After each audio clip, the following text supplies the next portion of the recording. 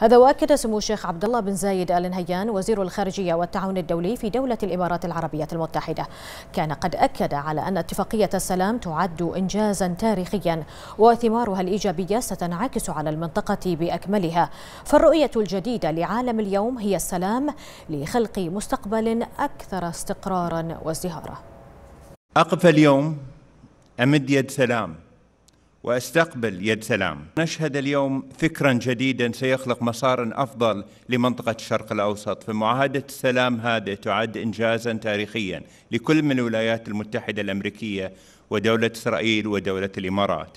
لن يتوقف أثرها الإيجابي، بل إننا نؤمن بأن ثمارها ستنعكس على المنطقة بأسرها. فكل خيار غير السلام سيعني دمار وفقر ومعاناة إنسانية. إن هذه الرؤية الجديدة التي بدأت تتشكل باجتماعنا اليوم لمستقبل منطقة مليئة بالطاقات الشابة ليست شعارا نرفعه من أجل مكاسب سياسية فالجميع يتطلع إلى خلق مستقبل أكثر استقرار وازدهار.